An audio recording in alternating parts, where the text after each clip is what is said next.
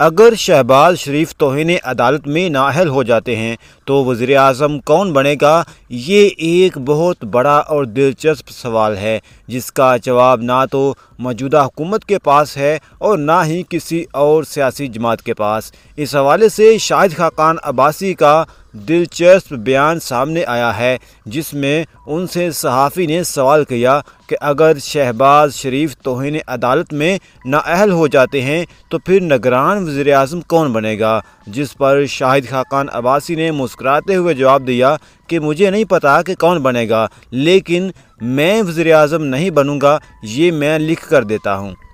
पता ये चले कि कल मियाँ शबाज शरीफ साहब और उनकी कैबिनेट तोहिन अदालत में गई अंदर।